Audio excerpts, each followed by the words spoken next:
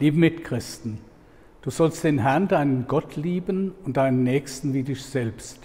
Dieses wichtigste Gebot der Christen gibt uns Jesus im Evangelium dieses Sonntags noch einmal mit auf den Weg.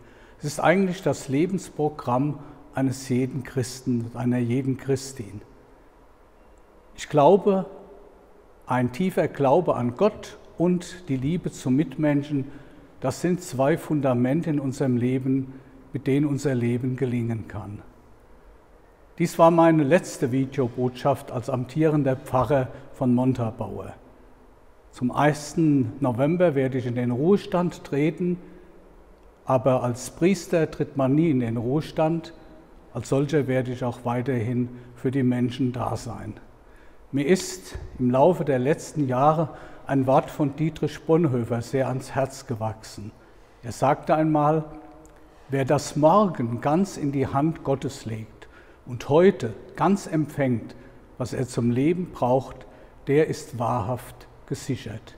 Ich wünsche Ihnen allen Gottes Segen, alles Gute und bleiben Sie gesund.